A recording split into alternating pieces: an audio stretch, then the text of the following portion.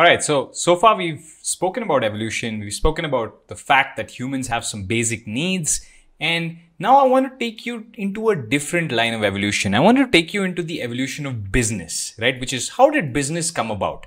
Why do we do business? Why do we trade with each other? Right? And in this video, we're actually going to learn that, and we're going to learn it with some some illustrations. Okay, so we've already established that humans have some basic needs, and I showed you those needs, those lower order needs and those higher order needs. Success, and let's just talk about success before we we get into anything. It's a vague term, right? We don't know what successful is, and some people come out and they say, "I'm successful because I'm happy." Another person comes out and says, "I'm successful because I'm rich." Another person comes out and says, "I'm successful because." Um, you know, I have children. And, and there are many different markers of success, and different people have different ideals for the word success. In my opinion, most people cannot agree on what success really means. So let's focus on the word resource collection, right?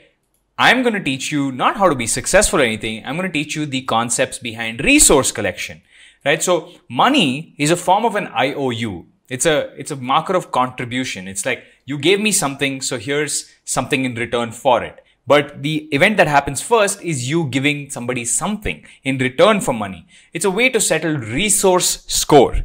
So let's focus directly on what causes some people to have more resources than others and how companies fight for such resources. And money is one such resource, but actually money is a proxy for other resources. Maybe 500 years ago, the resource in question was gold. Maybe 2000 years ago, the resource in question was copper.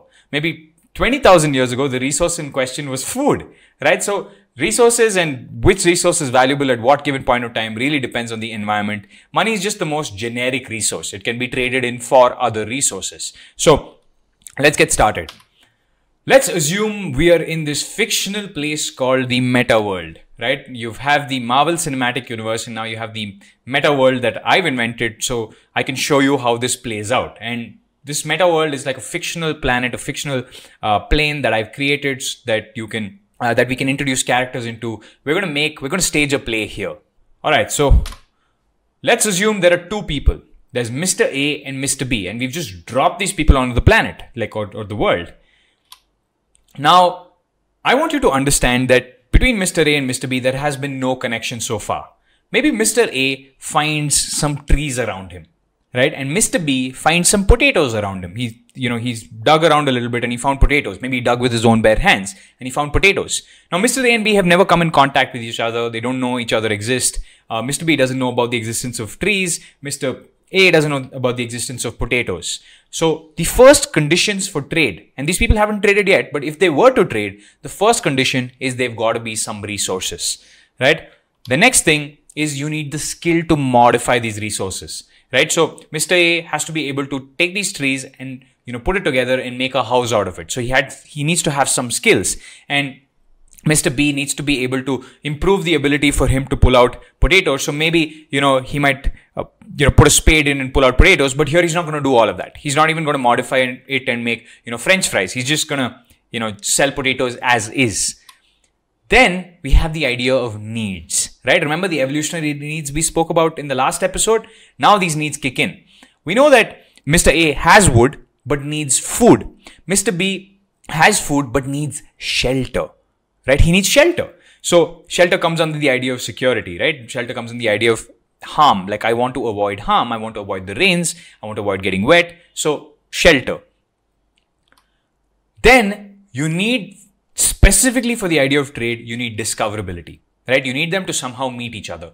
Now, these two people meet each other. Suppose they're walking about. Mr. B sees Mr. A and they both stand in front of each other. One of two things can happen. The first one is a war, right? And I'm talking about long, long time in, in the past. I'm not talking about today. But the first thing that can happen is war for resources, right? And you know, it's happened in the past. People fight with each other. Usually they don't fight one on one. They fight with a lot of people behind them on each side. But there's a war and the winner takes everything. So if Mr. A and B fought a war and Mr. A won, then he'd have the wood and the potatoes, but he'd also carry forward a few injuries. And the difference between human beings and most other animals is our ability to avoid option one right? Even though we end up sometimes fighting with each other in their wars, uh, it is what separates us from most other animals. Most other animals would get into resource conflict, right? Humans and maybe to a certain extent primates and monkeys are the only ones that collaborate to share resources. Many other creatures in the animal kingdom, but I'm talking about these two in specific. The next thing that can happen is trade, right? Mr. A can say, look, we'll trade um, some of my, you know, houses. I can build a house for you for some potatoes in return, right? So for them to agree on certain terms or for them to even have this negotiation, you need the idea of language, right? So they need to agree on certain terms. And if Mr. A can't speak English and Mr. B can't speak English, there's no point. So Mr. A is Russian and Mr. B is English, then trade doesn't happen, right? They need to be able to speak the same language. And, you know, earlier in the past, one of the main reasons for us to go to war, in my opinion, was um, language barriers people weren't able to express what they wanted and the other side couldn't understand it. You had to go down to drawing and rudimentary translations and that never works well right? So language is very important because it avoids war. It improves the outcomes of trade. The next thing that happens is a pricing and negotiation right? So mr a can say look you know, my houses are hard to build. They're harder to build than your potatoes for whatever reason. And I think that one house equal to 30 potatoes right? So I'll build you a house, but I need 30 potatoes in return. Obviously, we're just coming up with, you know, random numbers. Maybe a house could cost 500 potatoes, but Mr. A just asked for 30 potatoes because he really wants to eat potatoes. If Mr. A really didn't want to eat potatoes, then he might have said, you know what? It's too much effort to build a house for 30 potatoes. I'll give you a house for maybe 500 potatoes because I'm not really interested in potatoes, right now. But uh, so I'm going to increase the value of my house with respect to potatoes. The next thing that happens is trust. Assume this transaction happens. Assume this one house to 30 potatoes transaction happens. Then the element of trust kicks in, which is we've done five transactions before. I trust you. So it's fine if you pay me later. Right. And that's the thing about human social connections. Trust increase the speed of trade right? When you trust somebody you trade faster there's less negotiation there's less na- language involved. Right? And you kind of already know the other person's need in advance. Now i'm going to make things hard for these people. I'm going to introduce a third person mr c with these same potatoes. Right? Mr c has food and he also wants shelter. So mr a sorry mr c and mr b they have the same resources and they have the same needs which causes conflict. So i'm creating this on purpose. Conflict right? Both of them, suppose they both discovered Mr. A and Mr. B is already working with Mr. A. Mr. C comes in and says, I'm selling you the same thing. Mr. A has to choose between C and B because they're essentially selling the same things. So what happens is Mr. A says, I reject you, Mr. C. I don't want to work with you. I'm already working with Mr. B and I have the trust, right? And this is where the first mover advantage comes in, right? So if you're a company and you invent something new and you're working with many other companies, um, even if another company comes in doing exactly what you're doing, uh, the other companies are less likely to go with company B because you've already built the trust with them, right? So being first mover allows you more than anything to build trust, right? So Mr. C is rejected. He feels really bad about it. So he has two options. The first option is find somebody else who can sell me shelter and who wants food. The two preconditions. A, I really need shelter. And B, who wants my things, who wants my food. Or I go work for Mr. B because I can create potatoes. I mean, I can pull out potatoes from the ground. I've also found potatoes. Mr. B is anyway getting the deal flow from Mr. A. They've already built a relationship. I might as well go and work for Mr. B. Right? So he decides to go and work for Mr. B. So Mr. C decides to work for Mr. B. And this is exactly how jobs work. Right? So the somebody is doing trade and instead of you directly doing trade, you are indirectly doing trade by working for somebody else who is directly doing trade. And this is the origin of jobs in, in, in a management theory, right? So say Mr. B and Mr. C have a fight, right? Because Mr. C says, you know what, I'm helping you get the potatoes. The only thing you have, the only advantage you have over me is that you discovered Mr. A first, you built the trust first, but you're paying me only maybe 10% of the revenues. Whereas, you know, I'm also getting the potatoes, I'm doing all the hard work. So maybe they, they have an argument, right? So Mr. C takes a flight outside. And as you can see in the bottom, you know, there's a flight with Mr. C. He leaves this first meta world with Mr. A and B and he finds another meta world, Mr. D and E. Right? And Mr. D and E both have houses, both have wood. So Mr. C has found a new market right? And one of the biggest advantages with finding a new market is, uh, in in this case especially, is Mr. C has multiple different people who have wood and who want potatoes. So markets are really important because you know maybe in Asia something sells well, but in America it won't sell so well, or you are looking for a different resource. And for example, when I was selling t-shirts when I was young, Manipal had no t-shirt suppliers, right? There was one and it was very expensive, about 450 rupees a t-shirt. But when I took a bus and went to Tirupur, uh, which is, you know, placed in Chennai, I found many different t-shirt suppliers, right? And the average price of t-shirt suppliers there was 200 250 rupees per t-shirt. And then you know some now it's even cheaper because more t-shirt providers have entered the market. So the more people there are that create something the effective price lowers. It's called a correction right? Which is why mr c in this case decided to just quote and go to a place where his where there is less competition, where his where his what he's selling is being absorbed by the people.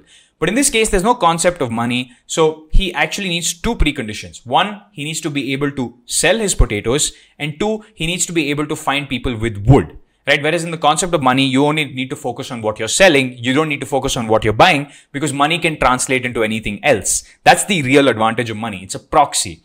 Right? So he starts doing trade with Mr. D and E and as you can see, the location matters. The market or the location matters. So Mr. B is king in his market. Mr. C is king in his. And you know, you'll, you learn a lot about markets if you go and watch these old movies about mafia dons and how they mark their territories. So it's it's pretty much the same thing, right? It's where I do my business. Please don't come and do business where I do my business. And there is relationship. Mr. B and Mr. C can still form a relationship and say, Mr. B can say, Hey, Mr. C, don't come here and Mr. C can say, Mr. B, don't come here, and we have an agreement on that. So you can still be friends while being in different locations while competing. Competitors can be friends as long as they choose different markets. Now, the world is complex, right? And like I spoke before, it's not a meta world. They're not like one or two characters doing, you know, transactions between one or two resources. The world has so many different people selling each other solutions for their needs. And it's a big crisscross. I could be buying from five different suppliers. You could be buying from 30 different suppliers and I could still sell to you. And money is the medium by which all of this happens because otherwise I need to look specifically for people who are selling me what I need. If I need computer parts, I need to look for the one guy who's selling me computer parts and then maybe that guy only wants chicken and I'm like, I don't have chicken, right? So, which is why it, money allows me to first be able to sell my skills. Maybe I'm a good um, business guy, or, or, maybe I'm a good uh, potato seller and I sell a lot of potatoes and I make money. Then I can go give it to the computer guy because I can say, look, I'm going to give you money. You go buy how many of a chicken you need to buy.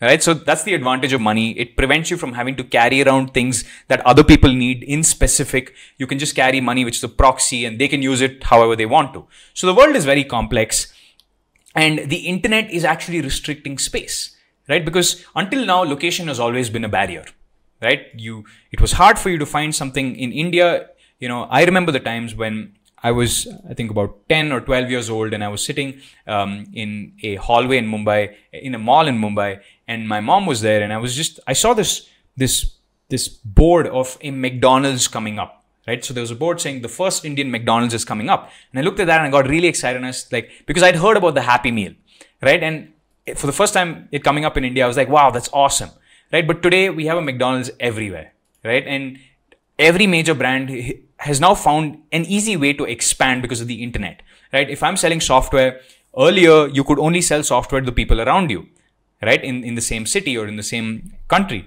But now it's gotten to a point where you can sell software to anybody at any time, anywhere. Instead of a lot of trade happening between a lot of people, a lot of trade is happening between a few people. You know, there are a lot of lines into one or two people and then there are a lot those people are not spending too much. So the internet is restricting space. It's causing competition again. It's causing a lot of conflict. It's causing a lot of resource wars. So you know this is something where i don't have an actual solution to this. This is a problem we'll have to figure out as a team as a as a as a country as a as a nation as a as a world. Um, but yeah, this is happening right now. And all the people who are giving you career advice are not realizing this. This is the biggest change in business, which is why if somebody is not well versed with the internet, you shouldn't probably take too much advice from them because the internet changes one major part of that entire um, stack that I spoke about, the entire, you know, location stack. And because of that, everything has changed. Right? So the internet has brought us closer together, but there's too many people there's too little space, there's skewed demand and supply, and menial tasks are being automated. So that case of Mr. C working for Mr. B, because Mr. B now has robots, he doesn't need Mr. C to pull out potatoes from under the ground. So Mr. B is able to do away with Mr. C, in which case Mr. C has only one option, which is to leave the market, right, and go to another market.